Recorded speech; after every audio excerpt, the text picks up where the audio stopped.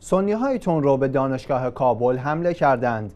به گزارش رسانه های افغانستان، سه مهاجم مسلح پس از ورود به دانشگاه کابل شروع به تیراندازی کردند. طارق آریان سخنگوی وزارت کشور افغانستان پس از ساعتی از شروع این حمله اعلام کرد که حمله تروریستی به دانشگاه کابل با هلاکت سه مهاجم پایان یافت.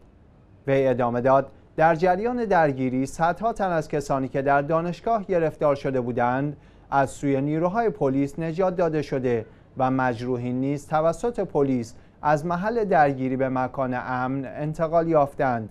سخنگوی وزارت کشور افغانستان در خصوص تلفات حمله به دانشگاه اعلام کرد. در این حمله 19 نفر جان خود را از دست داده و 22 نفر مجروح شدند.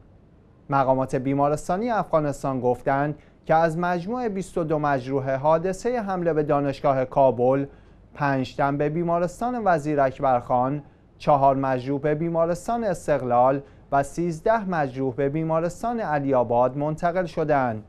این منابع بر وخامت حال تعدادی از مجروح شدگان تاکید کردند.